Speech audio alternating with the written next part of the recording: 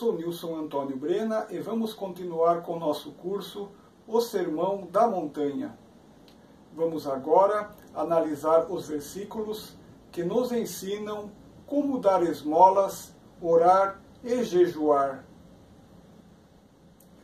Jesus nos orienta que não mostremos a outros homens nossos bons atos, como fazem os hipócritas, ensinando-nos que devemos dar esmolas, orar e jejuar em segredo.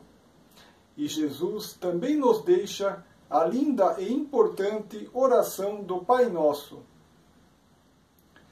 Estamos no Evangelho de Mateus 6, versículos 1 a 18. Vamos explicar agora cada versículo.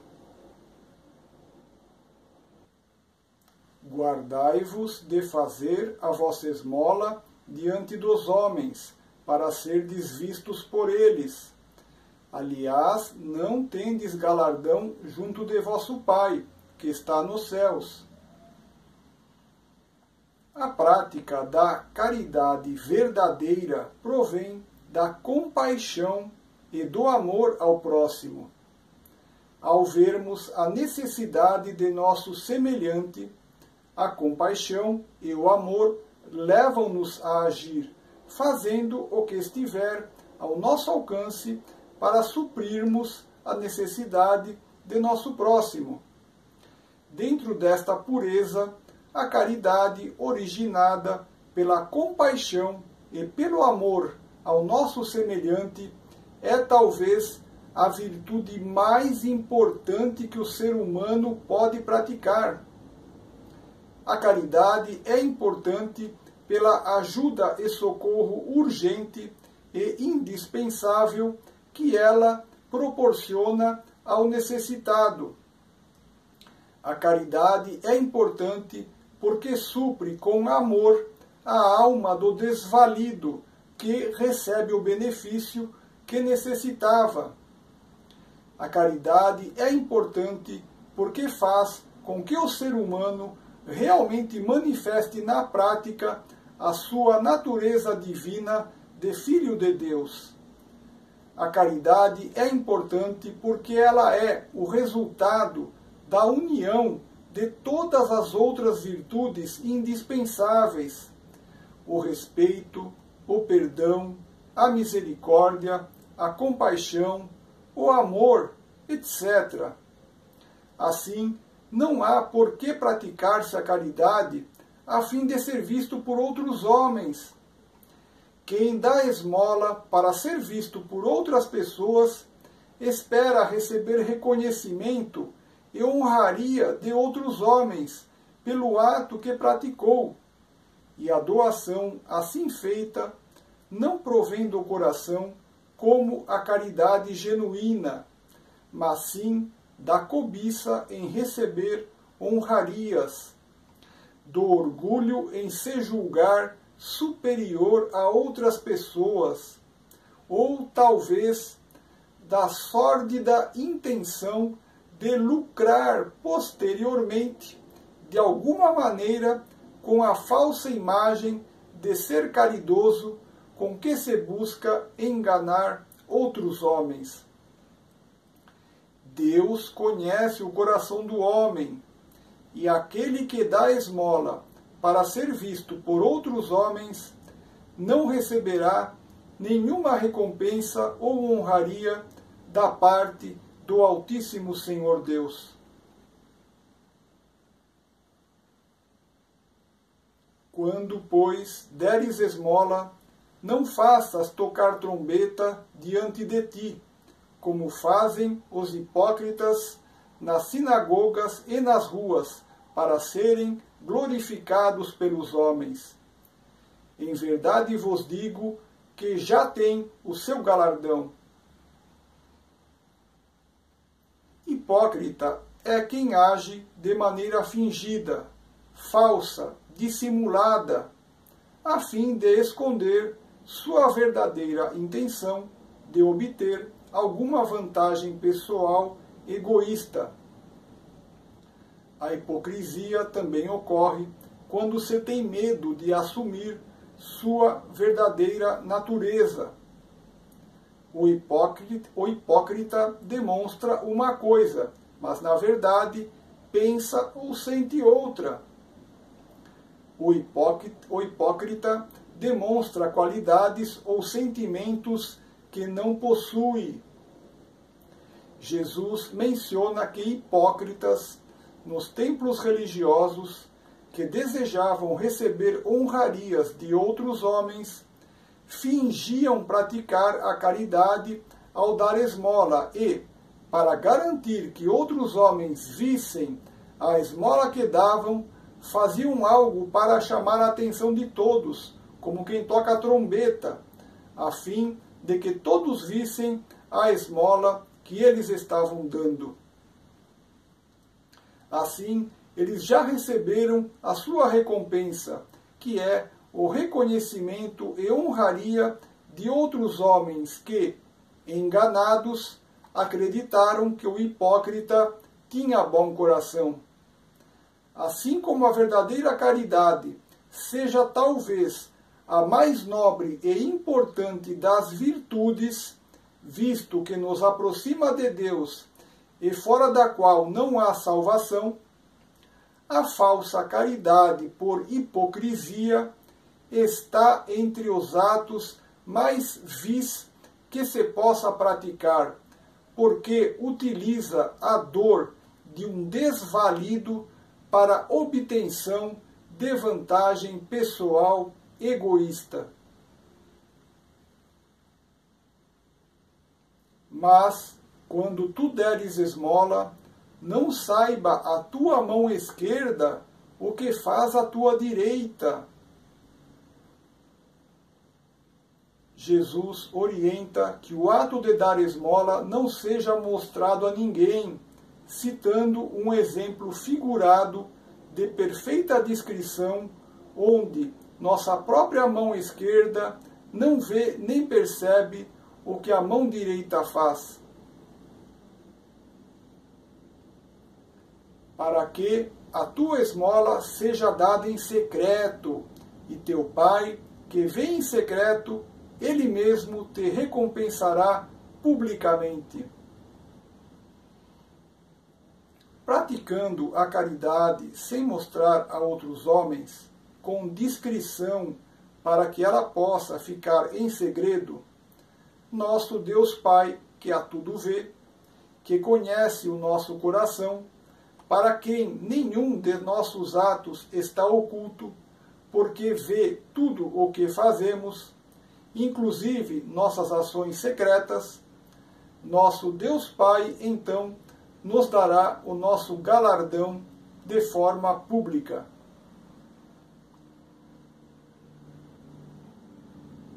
E, quando orares, não sejas como, como os hipócritas, pois se comprazem em orar em pé nas sinagogas e às esquinas das ruas, para serem vistos pelos homens. Em verdade vos digo que já receberam o seu galardão.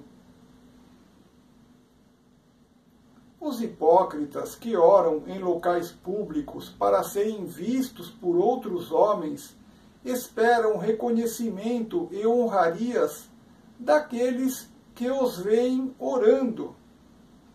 Desta forma, ao receberem o reconhecimento e honrarias daqueles a quem enganam, já receberam a sua recompensa dos homens que foram enganados, e não receberão nenhum galardão da parte de Deus.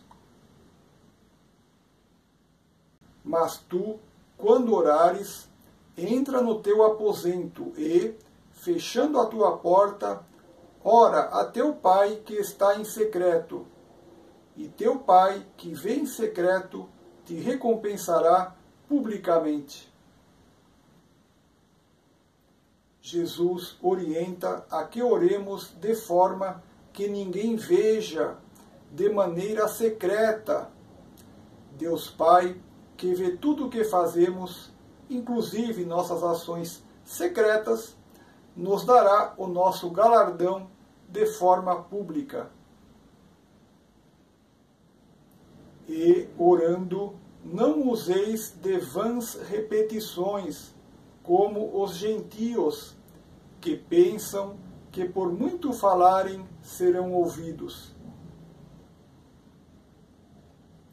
Gentios eram assim chamados aqueles que não eram judeus e não tinham o conhecimento de sua doutrina da palavra de Deus.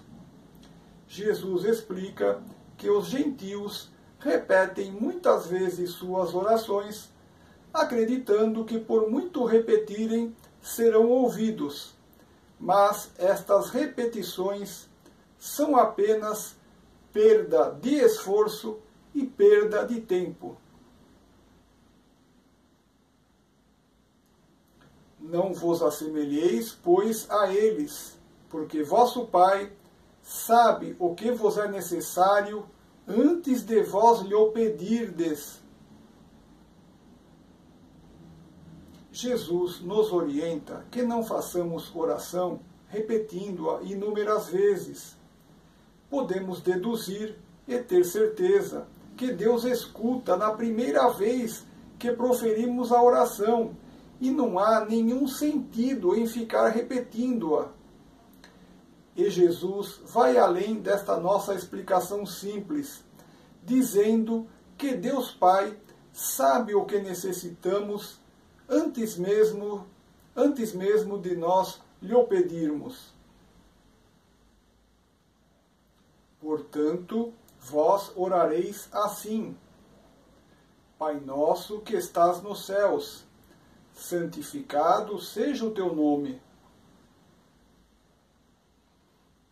Neste versículo, Jesus começa a nos ensinar a oração do Pai Nosso. Santo é aquele que é puro, que tem a perfeição suprema, e desejar que seja santificado o nome de Deus significa que se deseja que seja reconhecida a santidade de Deus. Assim, a oração começa conosco glorificando nosso Deus Pai. Esta glorificação também é um cumprimento ou uma saudação inicial muito respeitosa a quem estamos dirigindo nossas palavras e pensamentos, que é Deus. Este início é da máxima importância, pois quem assim ora demonstra respeito por Deus, demonstra que tem grande consideração por Deus, demonstra deferência a Deus. Quem assim ora demonstra reverência a Deus, ou seja, manifesta um profundo respeito e atitude de humildade diante de nosso Pai Celestial, que possui todas as excelsas virtudes. Venha o teu reino, seja feita a tua vontade, assim na terra como no céu. Então, pedimos que a perfeição e harmonia presente no reino de Deus venha até nós na terra. Pedimos também que seja realizada não a nossa vontade, mas a vontade de nosso Deus Pai, aqui na terra e no reino dos céus. O pão nosso de cada dia nos dá hoje. Pedimos o pão a Deus. O pão representa todos os nossos alimentos físicos que sustentam e mantêm nosso corpo físico. Mas o pão também representa o alimento espiritual que nutre a nossa alma e que é a palavra de Deus. Ao pedirmos a palavra de Deus, precisamos também receber compreensão desta palavra, a fim de que nossa alma fique realmente nutrida. e perdoa-nos as nossas dívidas, assim como nós perdoamos aos nossos devedores. Todos nós temos pecados e precisamos continuamente do perdão de Deus. É um engano qualquer um pensar de si mesmo que já se é muito bom e perfeito, e é preciso se despertar urgente quanto a isto. Se examinarmos nossos atos diários com meticulosidade, encontraremos muitos erros e pecados. É nosso dever atingirmos a perfeição, e isto exige de nós muita atenção, esforço e disciplina para a identificação dos pecados e sua substituição pelas ações virtuosas correspondentes. Assim, enquanto não atingirmos a perfeição, precisamos constantemente do perdão de Deus. E, para que tenhamos direito de receber o perdão divino, é necessário que também perdoemos todos aqueles que cometeram erros e pecados, nos causando algum problema ou prejuízo. Porque seria injusto recebermos o perdão de Deus se nós mesmos não concedemos perdão ao nosso próximo. Assim, para que possamos obter o perdão de Deus, é necessário que perdoemos todos aqueles que erraram ou pecaram, nos causando algum problema ou prejuízo. E não nos conduzas a, e não nos conduzas à tentação. E não nos conduzas à tentação, mas livra-nos do mal. Porque teu é o reino e o poder e a glória para sempre. Amém. Uma tentação não é um simples teste isento de consequências. Pelo contrário, a tentação é um teste muito forte, no qual é muito difícil obter êxito e, caso se morda a isca e caia-se no engodo que ela propõe, as consequências são gravíssimas, trazendo imensa dor e sofrimento para aquele que acreditou em sua mentira. De uma coisa você pode ter certeza nesta vida: existem tentações que são praticamente irresistíveis de acordo com o grau de, de, de adiantamento moral de cada pessoa. Vou repetir. Existem tentações que são praticamente irresistíveis de acordo com o grau de adiantamento moral de cada pessoa. Eu só não digo que são 100% irresistíveis, porque tecnicamente a decisão de escolha sempre cabe àquele que é tentado, mas eu posso te garantir que há tentações tão fortes que eu poderia te afirmar que é quase impossível não cair em, seu engano. As tentações lançam mão de nossos desejos mais secretos e escondidos, dos quais muitas vezes não temos consciência. Desejos estes que, se, atendido, se atendidos como as tentações, desejos estes que, se atendidos como as tentações o permitem, nos trazem um gigantesco suposto prazer ou benefício quase irresistível, e o nível de nosso adiantamento moral pode ser insuficiente para que não caiamos no seu engodo. Temos o juízo interior que nos adverte do que é errado, mas ainda não exercitamos plenamente a vontade do Espírito em não violar as leis de conduta moral que regem o universo, de forma que o suposto prazer ou benefício oferecido por uma determinada tentação é quase irresistível para um determinado nível de adiantamento moral.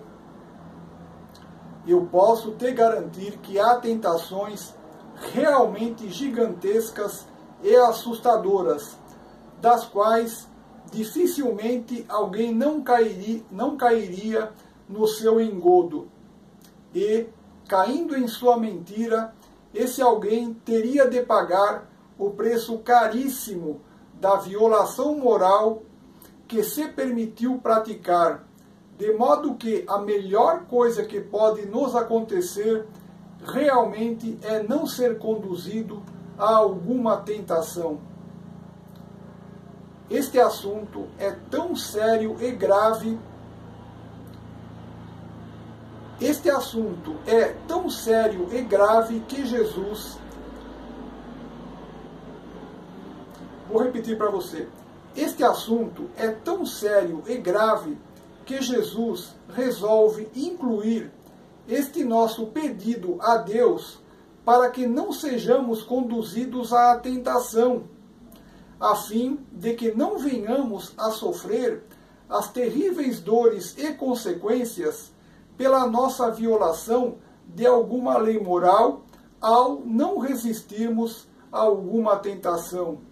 E por isto, neste mesmo versículo, Jesus coloca o pedido para Deus nos livrar do mal, ou seja, uma explicação do porquê do pedido a Deus para não nos conduzir à tentação, cujo motivo é para que nela não caiamos e assim não soframos o mal decorrente. Uma outra interpretação possível para a frase mas livra-nos do mal seria pedir a proteção de Deus para nós relativamente aos males que ocorrem neste mundo e que poderiam nos prejudicar. Ao final do versículo, a oração do Pai Nosso é encerrada e há nela, então, um cumprimento final de nossa parte a nosso Pai Celestial que nos ouviu, louvando-se a Deus que demonstra que demonstra nosso profundo agradecimento por nos ter dado sua atenção. E as lindas palavras que encerram a oração glorificam a Deus e demonstram a nossa reverência ao Senhor Deus Altíssimo, manifestando nosso profundo respeito e atitude de humildade diante de nosso Pai Celestial, que possui todas as excelsas virtudes e o poder total sobre tudo o que existe, uma vez que ele a tudo criou e tudo a ele pertence. Porque, se perdoardes aos homens as suas ofensas, também vosso Pai Celestial vos perdoará a vós. Jesus nos ensina que obteremos o perdão de Deus se também perdoarmos aqueles que nos causaram algum tipo de mal. Se, porém, não perdoardes aos homens as suas ofensas, também vosso Pai vos não perdoará as vossas ofensas. Jesus explica que, se não perdoarmos aos nossos ofensores, nosso Pai Celestial também não perdoará as nossas ofensas. Isto é uma questão de justiça, pois, se alguém não é capaz de perdoar quem lhe causou algum mal, seria injusto este alguém ser perdoado do mal que causou a outrem. Deus é perfeito e justo, e somente poderá perdoar quem também perdoa. E, quando jejuardes, não vos mostreis contristados, como os hipócritas, porque desfiguram os seus rostos, para que aos homens pareça pareça que jejuam. Em verdade vos digo que já receberam o seu galardão. Jejuar proporciona muitos benefícios espirituais.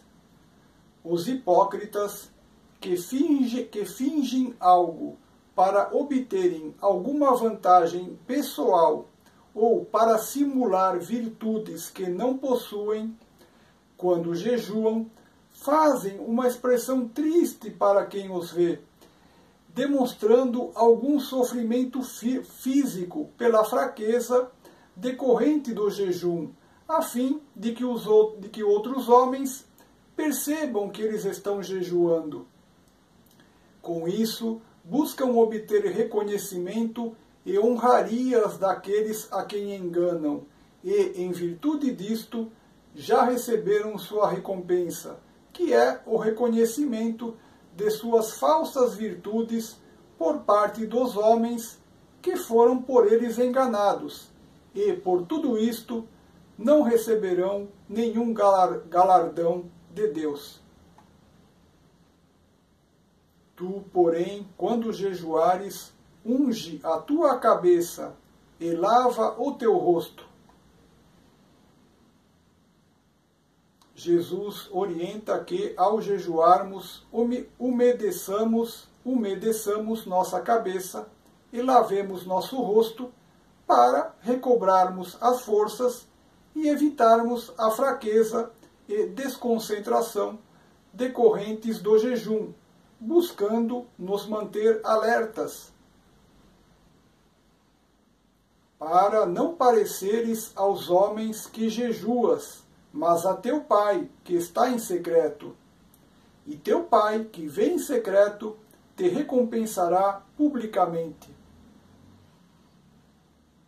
Complementando o versículo anterior, Jesus explica que aqueles procedimentos evitarão que demonstremos a fraqueza natural decorrente do, je do jejum e rosto abatido, evitando assim que outros homens percebam que estamos jejuando. Mas somente nosso Pai Celestial, mas somente nosso Pai Celestial saberá que secretamente jejuamos.